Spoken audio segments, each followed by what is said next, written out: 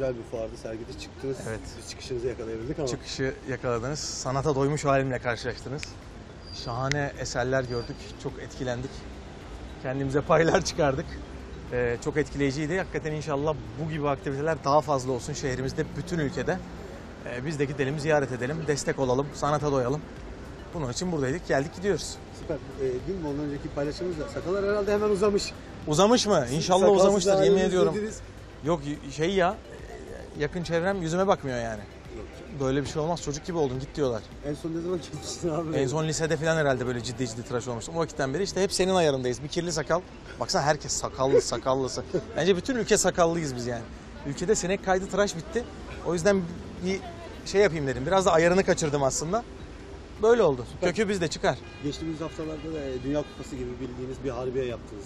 Evet, Nasıl çok geçti? Sizin güzeldi. için nasıldı? Heyecanı nasıldı? Şahaneydi. Yani hakikaten e, zirvede bırakacağım galiba abi. Yani sevdiğim herkes oradaydı. Şahane bir seyirci vardı. Herkes şarkıları ezbere söyledi. Müthiş konuklarım vardı.